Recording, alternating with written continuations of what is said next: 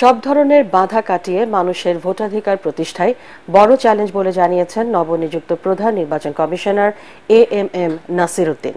তবে কোনো চ্যালেঞ্জকে ভয় পান না উল্লেখ করে সিসির দায়িত্বকে তার সুযোগ হিসেবে দেখছেন তিনি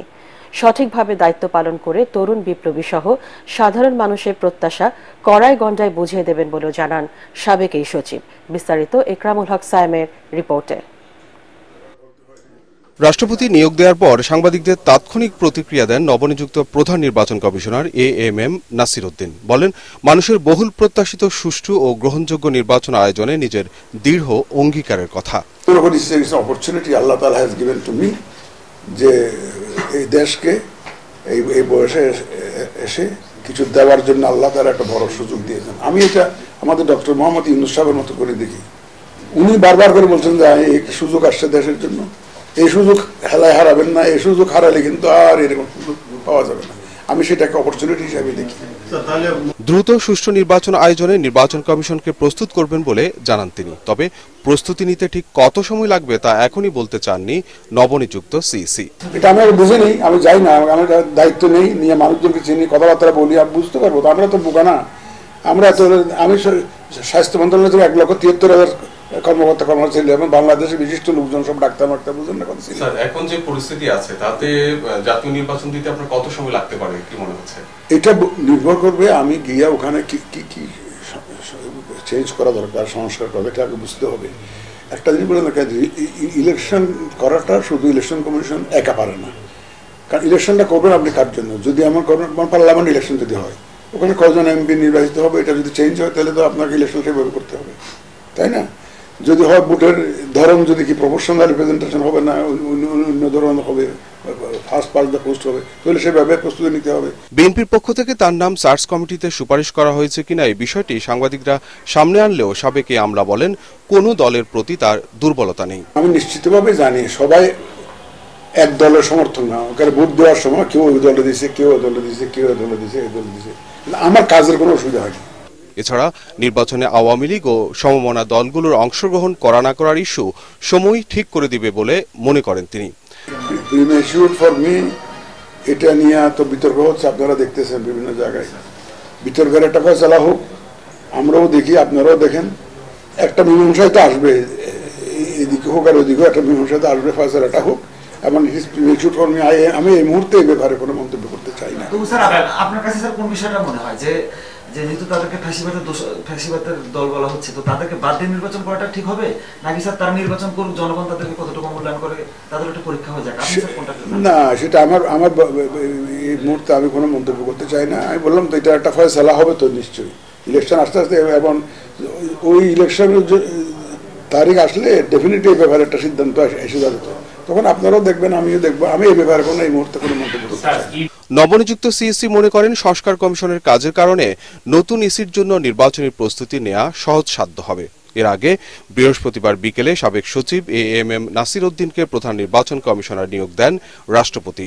এছাড়া চার নির্বাচন কমিশনার হলেন অবসরপ্রাপ্ত অতিরিক্ত সচিব মোহাম্মদ আনোয়ারুল ইসলাম সরকার অবসরপ্রাপ্ত জেলা ও দায়রা জজ আব্দুর রহমান মাসুদ অবসরপ্রাপ্ত যুগ্ম সচিব বেগম তাহমিদ আহমদ ও অবসরপ্রাপ্ত ব্রিগেডিয়ার জেনারেল আবুল ফজল মোহাম্মদ সানাউল্লাহ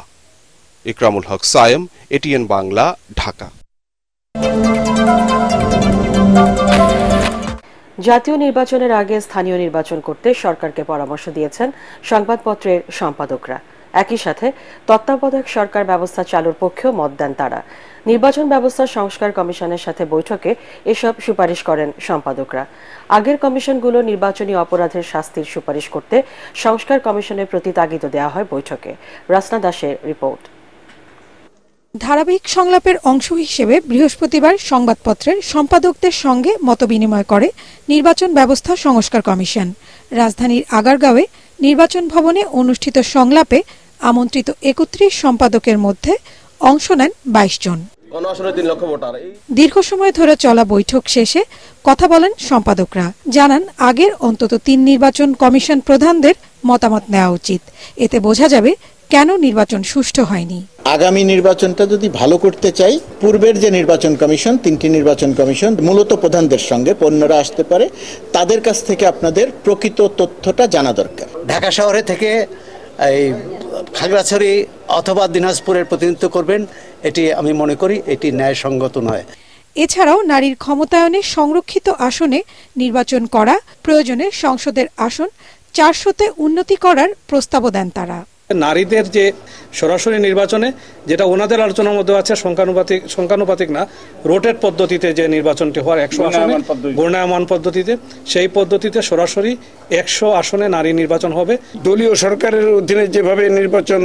আমরা অতীত অভিজ্ঞতা থেকে দেখেছি যে নির্বাচনকে যেভাবে প্রভাবিত করা হয় সেই প্রভাবিত করার যেন কোনো সুযোগ না তৈরি হয় সেদিক থেকে লক্ষ্য রাখতে নির্বাচন ব্যবস্থা সংস্কার কমিশন প্রধান জানান সকলের পরামর্শ গুরুত্বের সঙ্গে নেওয়া হচ্ছে অনেকগুলো গুরুত্বপূর্ণ সুপারিশ তারা করেছেন সরাসরি ভোটের মাধ্যমে কনস্টিটিউয়েন্সি যেন থাকে এটা তত্ত্বাবধায়ক সরকার ব্যবস্থাটা যেন যেন থাকে স্থানীয় সরকার নির্বাচনটা যেন জাতীয় নির্বাচনের আগে হয় এই এই কথাগুলো বলেছেন পরে নির্বাচন পর্যবেক্ষকদের সঙ্গে সভা করেন সংস্কার কমিশন রাস্তা দাস এটিএন বাংলা ঢাকা এক যুগ পর সেনাকুঞ্জে সশস্ত্র বাহিনী দিবসের সংবর্ধনা অনুষ্ঠানে যোগ দেওয়ার মধ্য দিয়ে দীর্ঘ ছয় বছর পর প্রকাশে কোনো অনুষ্ঠানে অংশ নিলেন বিএনপি চেয়ারপারসন বেগম খালেদা জিয়া সেনাকুঞ্জের সংবর্ধনায় পাশাপাশি বসে একে অপরের সাথে কুশল বিনিময় করেন ড মোহাম্মদ ইউনুস ও বেগম খালেদা জিয়া আমন্ত্রণে সাড়া দেয় বেগম জিয়াকে ধন্যবাদ জানান ডক্টর ইউনুস পরে বিএনপি মহাসচিব সাংবাদিকদের জানান বেগম জিয়াকে অন্যায়ভাবে দেশপ্রেমিক সশস্ত্র বাহিনী থেকে দূরে সরিয়ে রাখা হয়েছিল রিপোর্ট মইনুল আহসানের দীর্ঘ ছয় বছর পর রাষ্ট্রীয় কোনো অনুষ্ঠানে যোগ দিতে ভিন্ন আবহে প্রকাশ্যে বিএনপির প্রাণ ভোমরা বেগম খালেদা জিয়া সশস্ত্র বাহিনী দিবসের সম্বর্ধনায় যোগ দিতে বৃহস্পতিবার বিকেল তিনটার পর গুলশানের বাসভবন ফিরোজা থেকে সেনাকুঞ্জের উদ্দেশ্যে রওনা হন বিএনপি চেয়ারপারসন দলীয় প্রধানকে স্বাগত জানাতে ফিরোজার সামনে হাজির উল্লেখযোগ্য সংখ্যক নেতাকর্মী মিনিট পনেরোর মধ্যেই সেনাকুঞ্জে প্রবেশ করে বেগম জিয়ার গাড়িবহর সেনাবাহিনী প্রধানসহ তিন বাহিনীর ঊর্ধ্বতন কর্মকর্তারা সাবেক এই প্রধানমন্ত্রীকে স্বাগত জানান সেনাকুঞ্জের অতিথিদের দৃষ্টি ক্যামেরা লেন্স তখন তিনবারের সাবেক এই প্রধানমন্ত্রীর দিকে প্রধান উপদেষ্টা ডক্টর মোহাম্মদ ইউনুস বেগম খালেদা জিয়া পাশাপাশি বসে বেশ কিছু সময় কুশল বিনিময় করেন প্রধান উপদেষ্টা তার বক্তব্যে আমন্ত্রণে সাড়া দেয় সাবেক এই প্রধানমন্ত্রীকে ধন্যবাদ জানান আজ আমরা বিশেষভাবে সৌভাগ্যবান এবং সম্মানিত যে বাংলাদেশের তিনবারের নির্বাচিত প্রধানমন্ত্রী বীর মুক্তিযোদ্ধা শহীদ রাষ্ট্রপতি জিয়াউর রহমানের স্ত্রী বেগম খালেদা জিয়া আজ এখানে আমাদের মধ্যে উপস্থিত আছেন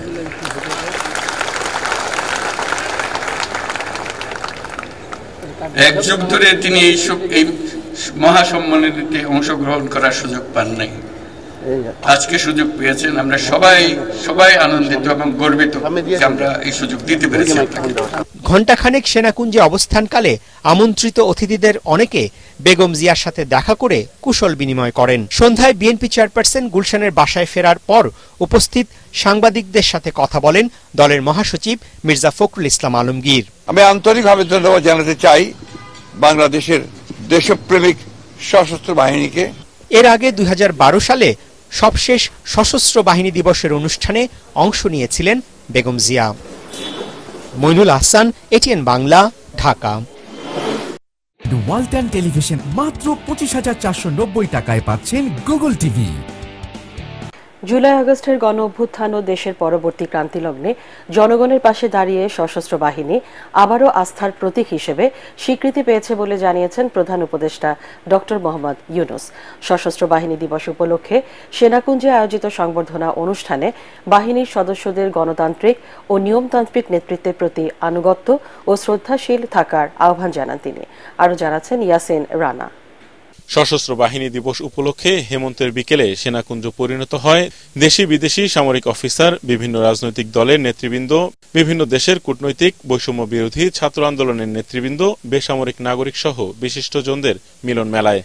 দীর্ঘ এক যুগ পর সংবর্ধনা অনুষ্ঠানে যোগ দেন বিএনপি চেয়ারপারসন বেগম খালেদা জিয়া খালেদা জিয়ার সাথে কুশল বিনিময় করেন ড মোহাম্মদ ইউনুস এছাড়াও সশস্ত্র বাহিনীর বিভিন্ন পদবীর কর্মকর্তা সহ আমন্ত্রিত অতিথিদের সাথেও শুভেচ্ছা বিনিময় করেন প্রধান উপদেষ্টা ও তিনবারের প্রধানমন্ত্রী খালেদা জিয়া বক্তব্যের শুরুতে অসুস্থতা নিয়েও দীর্ঘ এক যুগ পর সশস্ত্র বাহিনীর সংবর্ধনা অনুষ্ঠানে যোগ দেয় বেগম খালেদা জিয়ার প্রতি ধন্যবাদ ও কৃতজ্ঞতা জানান ড ইউনুস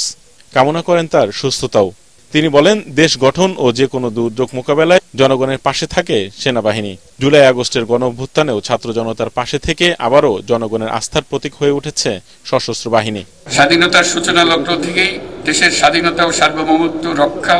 এবং নিরাপত্তা নিশ্চিত করার পাশাপাশি দেশ গঠন ও জাতীয় দুর্যোগ মোকাবেলায় সশস্ত্র বাহিনী সবসময় জনগণের পাশে থেকে কাজ করে আসছে সাম্প্রতিক বৈষম্য বিরোধী ছাত্র আন্দোলনে এবং তৎপরবর্তী পরবর্তী সময়ে দেশের ক্রান্তি লগ্নে সশস্ত্র বাহিনী বরাবরের ন্যায় মানুষের পাশে এসে দাঁড়িয়েছে দেশের ছাত্র জনতা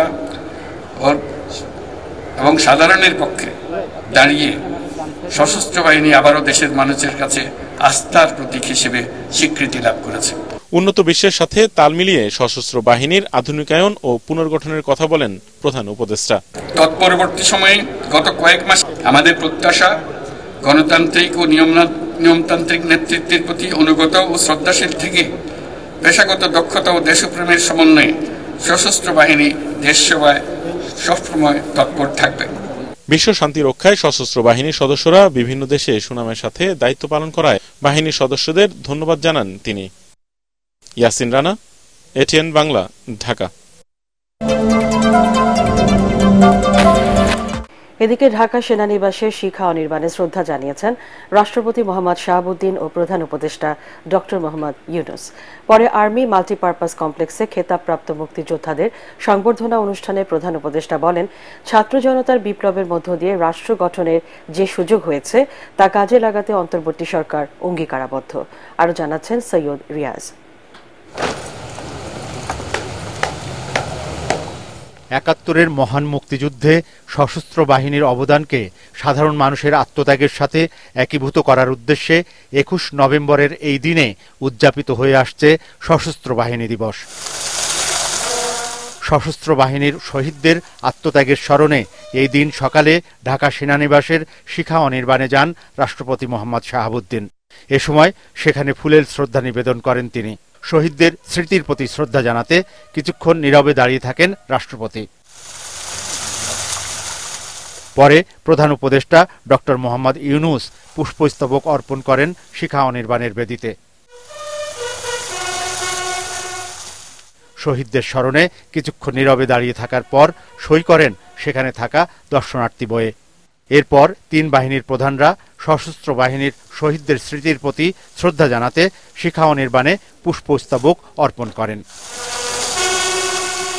পরে সশস্ত্র বাহিনী বিভাগের আয়োজনে সেনানিবাসে মাল্টিপারপাস কমপ্লেক্সে খেতাবপ্রাপ্ত বীর মুক্তিযোদ্ধা ও তাদের উত্তরাধিকারদের সম্বর্ধনা অনুষ্ঠানে বক্তব্য রাখেন উপদেষ্টা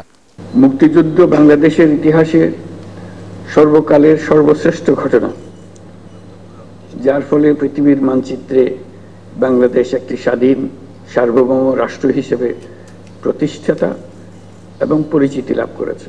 এ সময় তিনি বলেন জুলাই বিপ্লবের মধ্য দিয়ে দেশকে একটি পরিবারের অন্তর্ভুক্ত করেছে ছাত্র জনতা যেখানে মতভেদ বা বাগবিতণ্ডা থাকলেও কেউ কারো শত্রু হবে না নতুন বাংলাদেশ গড়ার যে সুযোগ ছাত্র জনতার সাহস ও আত্মত্যাগের বিনিময়ে আমরা সম্প্রতি অর্জন করলাম সেটাকে কাজে লাগিয়ে আমাদের সুন্দর ও সমৃদ্ধশালী ভবিষ্যৎ গড়তে হবে ছাত্র জনতার কাছে আমরা প্রতিজ্ঞাবদ্ধ থাকতে চাই যে সুযোগ তারা আমাদেরকে দিয়েছে তার মাধ্যমে আমাদের দেশকে পৃথিবীর সামনে একটি দৃষ্টান্ত স্থাপনকারী দেশে পরিণত করতে আমরা শপথ নিয়েছি বৈষম্যহীন শোষণহীন কল্যাণময় এবং মুক্ত বাতাসের রাষ্ট্রে যে স্বপ্ন নিয়ে মুক্তিযোদ্ধারা দেশ স্বাধীন করেছিলেন সেই স্বপ্ন পূরণের অঙ্গীকারও ব্যক্ত করেন প্রধান উপদেষ্টা সৈয়দ রিয়াজ এটিএন বাংলা ঢাকা বিচারের শুদ্ধতার জন্য আন্তর্জাতিক অপরাধ ট্রাইব্যুনালের অন্তর্বর্তীকালীন আদেশের বিরুদ্ধে আপিলের বিধান রাখা হয়েছে বলে জানিয়েছেন আইন উপদেষ্টা ডক্টর আসিফ নজরুল ট্রাইব্যুনালের মূল ভবনের সংস্কার কাজ দেখতে গিয়ে তিনি কথা বলেন এতে ট্রাইব্যুনালের বিচার কাজে গ্রহণযোগ্যতা বাড়বে বলে মনে করেন সিনিয়র আইনজীবীরা অন্যদিকে এ বিধানের ফলে বিচার দীর্ঘসূত্রতায় পড়বে বলে মনে করছে প্রসিকিউশন টিম আরও জানাচ্ছেন হুমায়ুন চিস্তি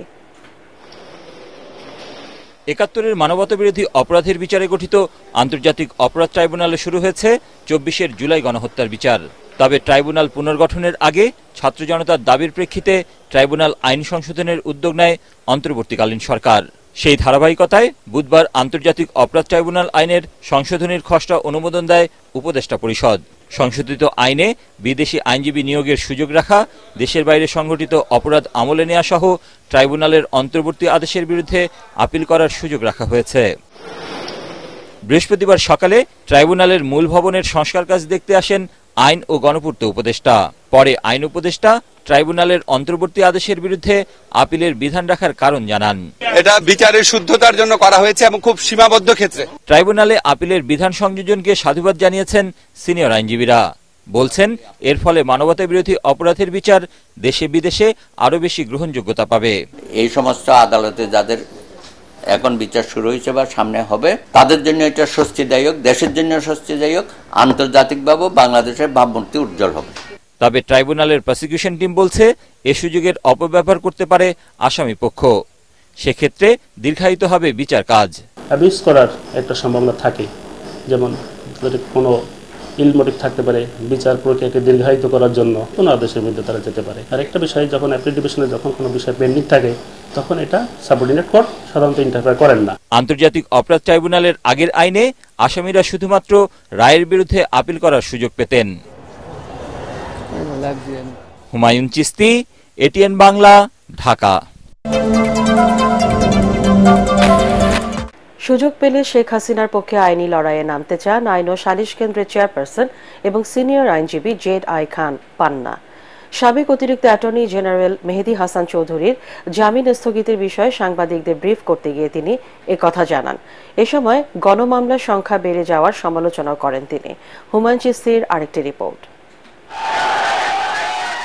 ছাত্র জনতার আন্দোলনে রাজনৈতিক পট পরিবর্তনের পর এ পর্যন্ত সাবেক প্রধানমন্ত্রী ও আওয়ামী লীগ সভাপতি শেখ হাসিনার বিরুদ্ধে কয়েকশো মামলা হয়েছে এরই মধ্যে তার বিরুদ্ধে গ্রেফতারি পরোয়ানা জারি করেছে আন্তর্জাতিক অপরাধ ট্রাইব্যুনাল তবে এখন পর্যন্ত ট্রাইব্যুনালে তার পক্ষে কোনো আইনজীবী দাঁড়াননি বৃহস্পতিবার একটি মামলার বিষয়ে সাংবাদিকদের সাথে কথা বলতে গিয়ে সিনিয়র আইনজীবী জেডাই খান পান্না বলেন তিনিও বিগত সরকারের রাজনৈতিক নিপীড়নের শিকার তবে সুযোগ পেলে আইনি লড়াই লড়তে চান শেখ হাসিনার পক্ষে যদি সুযোগ হয় তাহলে শেখ হাসিনার পক্ষে লড়াই করব ট্রাইব্যুনালে ট্রাইব্যুনাল কেন সব মামলাতেই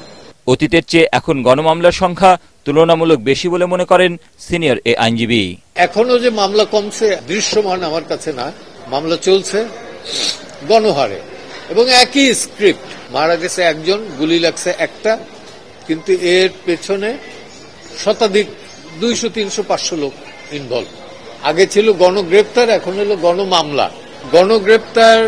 মামলা হলে পর তো গণমামলা হলে পরে গণগ্রেপ্তার হবে এবং এর ভিকটিম আমিও ছিলাম নির্বাচনের বিষয়ে জেডাই খান পান্না বলেন সংস্কার নয় এই সরকারের প্রাথমিক এবং একমাত্র দায়িত্ব হচ্ছে সুষ্ঠু নির্বাচনের মাধ্যমে গণতান্ত্রিক পদ্ধতিতে ক্ষমতা হস্তান্তর করা হুমায়ুন চিস্তি এটিএন বাংলা ঢাকা